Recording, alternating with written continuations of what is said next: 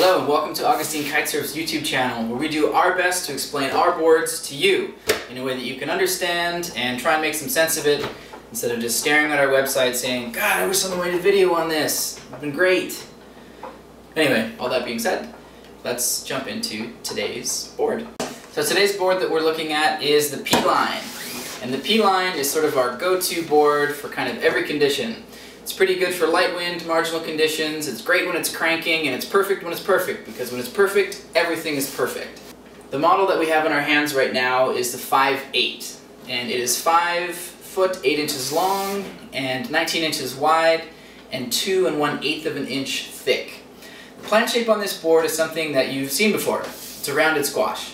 You know, whenever you think about the iconic shortboard, it's probably a rounded squash that you have in mind. So, Starting at the back and working to the front, let's give you a little bit of information on this board. The rounded squash and why we chose it basically had to do with what we wanted this board to do, which was everything. And it gives a nice, neutral, kind of predictable feel to it, and it has a really nice tendency to hold a rail really well and to release nice and soft, as opposed to a really abrupt sort of release, like you might see out of like a fishtail or a swallowtail or something like this. This board holds its rail and it holds it really well. So moving up to the width of the board, it's 19 inches wide. What can we say there? It's just it's 19 inches wide, pretty common width for a lot of boards. And moving up towards the nose, um, it's really just a pointed nose. There's nothing too crazy or progressive here. We're not seeing a big chop. We're not seeing a pickle fork. We're not seeing anything that you haven't seen before.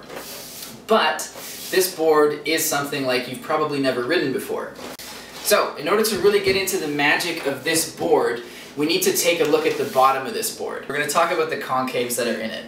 So in a word, the concaves are basically what's going to give you the amount of lift that you want in a board, and it's going to help you turn, and it's going to help you do a lot of different things. So starting up in the nose of this board, it is a really, really shallow single concave. Normally we don't even put much concave in the nose of the boards, but this one we wanted to get up and plane really fast, so we put a small amount of single concave.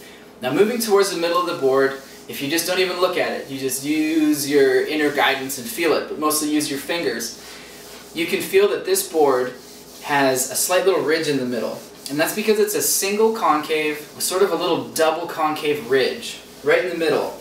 And it gets more exaggerated the more we go down here and feel it all the way back, where it turns into a genuine double concave. The reason that we put a nice single concave in here is it generates a lot of lift really quick. This board likes to basically pick up out of the water and get going really fast, getting you one, out of the way of some waves that might be crashing your direction, or two, getting out of a crowded beach.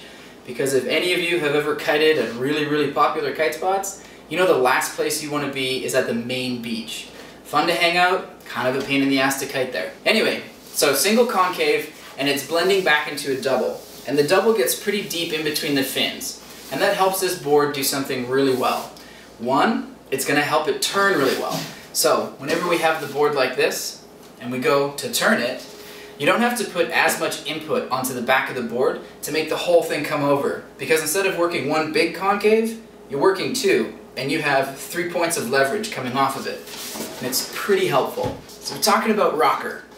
And what do we mean by rocker? We mean the curves that go along the bottom of this board. So moving into the nose rocker here, pretty, actually it's not a ton of rocker there, it's pretty shallow rocker, which gets you going pretty fast, very quickly. I wanted to say pretty fast, pretty fast, but it sounded dumb, and now I've said the whole thing, and I'm just going to leave it in the video.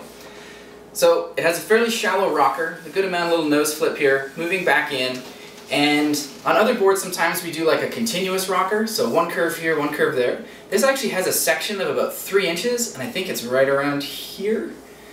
That's flat. And the reason we do that is it helps with doing airs, and it helps turning and pivoting this board when it's flat like this for sort of more new, new school maneuvers, and really nice whenever you're landing airs too. Sort of have a stable platform to come down on. The board doesn't want to just turn right away. It's okay with being flat and going straight for a little while. And then the tail rocker, which is pretty standard tail rocker, and the foil of the board, yeah, holds foam pretty good. I mean 23, 24 liters on this board. And that's about all I have to say on rocker.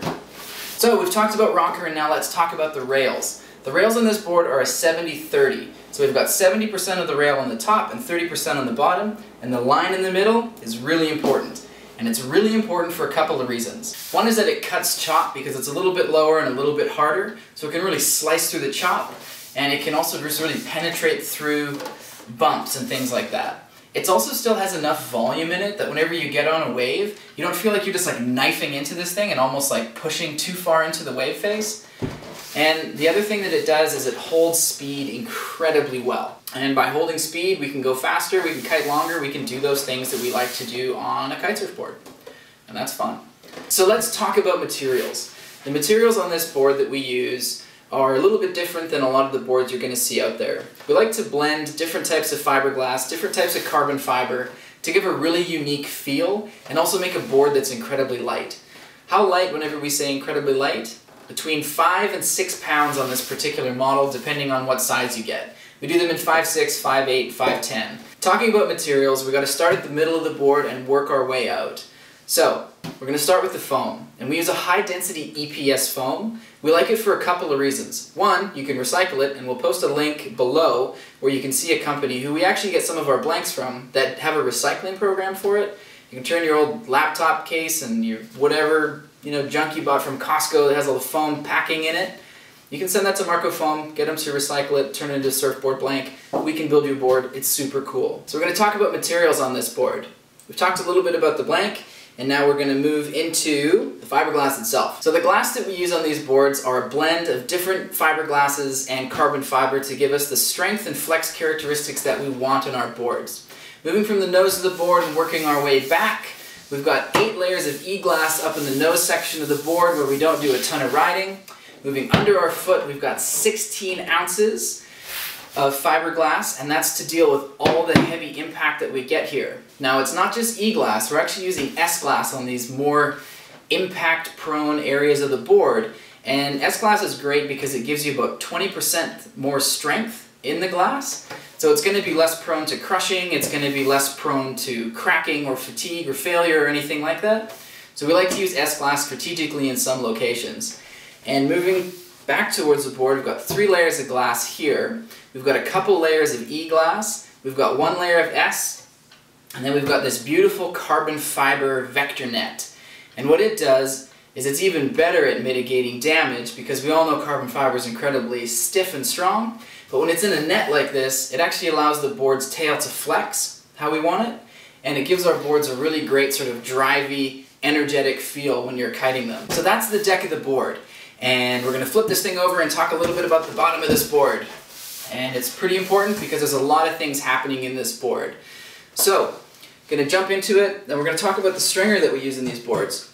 It is a composite stringer for this particular model, and we use the composite stringer because it's about three times stronger than wood, and it has a really nice flex characteristic. And we use this carbon fiber strip here on the bottom to manage the flex and also give us extra strength in the high stress areas of the board. By using the carbon fiber, it enables us to keep the tail and the nose of the board a little bit more flexible where we want it, and that's nice because if you have a slightly flexier tail, you can get a really nice, great, drivey feeling off the board. Let's talk about the glass that we use on the bottom of these boards too. This one here is done up in our carbon light, so it's the lightest option that you can get from us. And it's got 4 ounce E-glass all throughout the bottom until you get to the tail section, where we have 8 ounces of it because we've got the fin boxes here and it's going to take a lot of abuse and a lot of torque.